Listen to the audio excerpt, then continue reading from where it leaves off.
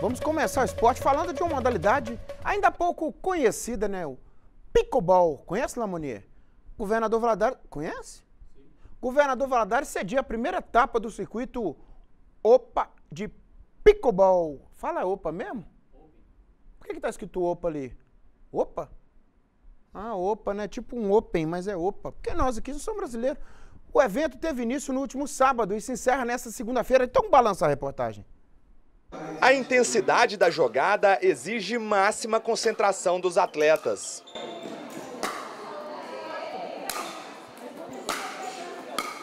Este esporte tem um nome diferente, é o pickleball. Algumas características do jogo são semelhantes ao tênis, como a quadra, por exemplo, mas com tamanho reduzido.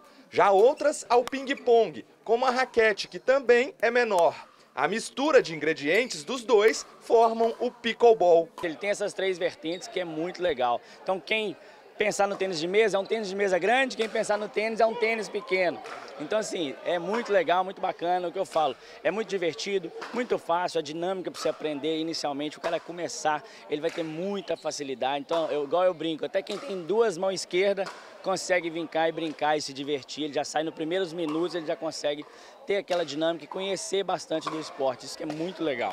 Governador Valadares é uma cidade propulsora desta modalidade esportiva. Desde o fim de semana, atletas locais da capital mineira, Ipatinga, Viçosa e Ouro Branco e até de outros estados estão na cidade para participar do circuito OPA de pickleball. O Bernardo é considerado o número um do esporte pela Associação Brasileira de Pickleball. Ele explica que esta é a primeira etapa do torneio e que o campeão será o melhor colocado de um ranqueamento.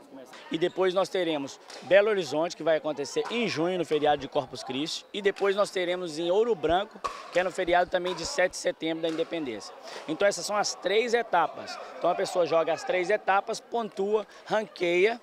E aí nós temos o último evento que acontece em novembro, que é o Master, onde só joga os oito primeiros colocados do ranking. Então no último campeonato só jogam os melhores dos melhores. Então isso é que é legal. Lucas é atleta treinado na Praça de Esportes, local que oferece aulas de pickleball gratuitamente aqui na cidade.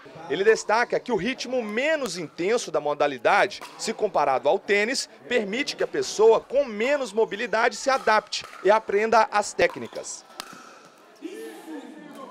O maior desafio é pegar a técnica mesmo dos meninos que já jogam há mais tempo.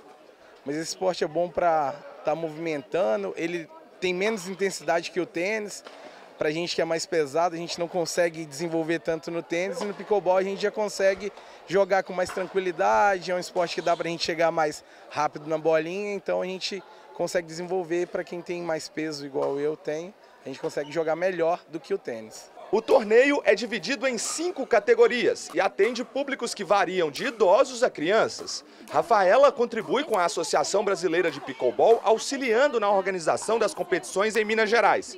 Para ela, a inclusão de diferentes perfis de atletas é o mais interessante do jogo o pickleball ele tem algumas regrinhas, então às vezes para a gente passar essas regrinhas, eu, eu, acho que é o mais difícil, porque o jogar mesmo, a pessoa consegue é, jogar tranquilamente, mas com essas regras, a gente tendo uma pessoa para orientar, fica tudo certo, mas é, é justamente por essa facilidade da pessoa conseguir jogar que ele é bem bacana e qualquer idade consegue.